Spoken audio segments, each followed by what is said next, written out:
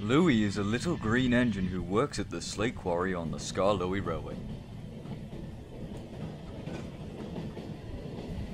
Louis is good friends with Rheneas and Skarloey.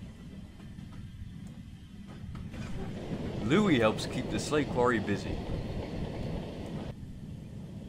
Louis works so hard at the slate quarry that the little engine sometimes longs to do a different job for once.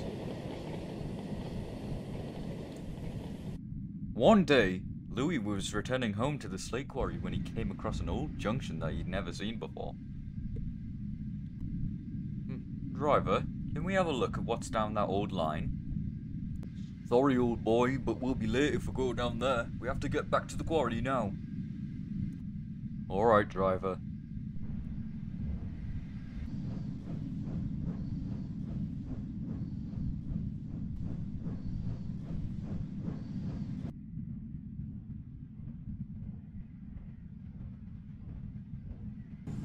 To this day, Louis still wonders what's down that old line. But I think it is best if it forever remains a secret, don't you?